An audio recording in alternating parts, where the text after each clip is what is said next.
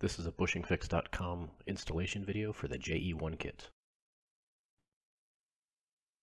For this cable, it has a two-piece bushing, as a rubber surround piece with a plastic inside piece which tends to break.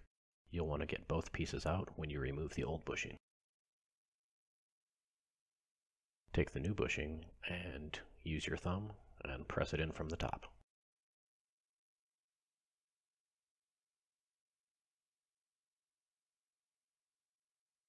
For the other style cable with the metal cable end, it's a little bit tighter fit, so it'll be a little bit more difficult to press the bushing into place, so you might find it helpful to place the bushing upside down on a flat surface and press down on the cable end until the bushing installs into place.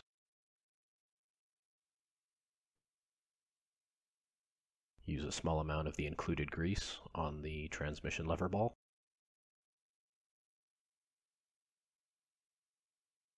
snap the cable into place.